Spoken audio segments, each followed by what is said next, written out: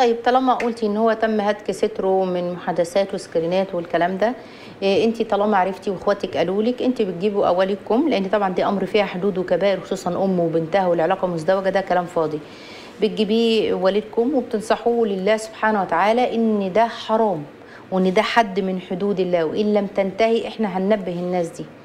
فأنت لازم تنتهي حتى لا يتم هتك الستر أكتر من كده. انتهى كان بها ما انتهاش على الأقل أنتوا بتقولوا لل- للفئة المتضررة. إيه الأم وبنتها لأن دي علاقة محرمة ولو تعرفوا إن في علاقات قاسمه إيه يعني بتنصحوا الناس إن هم يبعدوا عن كده وإن الأمر ده يعني أمر إيه، حرام وبتنصحوهم لله سبحانه وتعالى وبتنصحوهم إن ده حد مش صادق في التعامل معاهم يعني. إيه، لكن قبل الخطوة ديت بتجمعوه على أساس على الأقل نضيق دايرة ال يعني هتك الستر وتبقاش فضيحة كبيرة وعدد الأفراد اللي عارفين بالفعل ويكلموه ينصحوه لله سبحانه وتعالى والدعاء. موضوع ضرب الأم طبعا الحمد لله يعني أنت بتقولي هو انتهى لكن هي ما تسمحش إن حد يأذيها.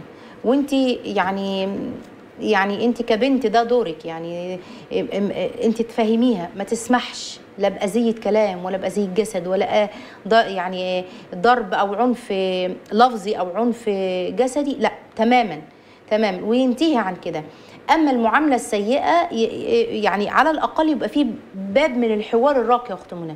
لكن ما فيش حوار راقي ما فيش حوار أصلا ويبقى زي ما بتقول لك بطل ضرب بس بيعملها معاملة سيئة تمنع المعاملة السيئة. تمنع. وقوانين الغرب إلى حد ما في مناصرة للمرأة في الأمر ده ولو راحت اشتكت هيتبهدل بهدلة شديده هو في غنى عن الكلام ده. إحنا مش عايزين نعمل كده فنقعد معاه نقول له الوضع مع والدتي واحد اتنين تلاتة الوضع مع المحرمات واحد اتنين تلاتة وانتي لأن دي حدود حدود حدود ما ينفعش إن أنت تقع فيها. لو لم ينتهي دكتورة هل تنصحين بالاستمرار معهم في نفس البيت؟ هو يستمر معاهم؟ إيه لو لم ينتهي عن أفعالي ونصحوه.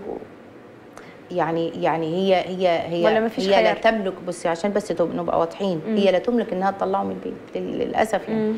وبعدين حتى لو هي تملك هو هيطلع هيعمل إيه ما هيروح في المحرمات أكتر يعني لكن نفضل نذكره بالله نفضل نذكره ونخوفه بالله سبحانه. وتعالى ويبقى قدام عياله ويبقى كذا لأن ساعات ساعات هزه هتك الستر ديت بتوقف وتخليه لا أو منظري ومش عارفة إيه. لكن مستبيع وعامل ادي إحنا هنقول للناس لأن ده حد من الحدود ده ما اوعوا اوعوا تتستروا على حاجة زي كده.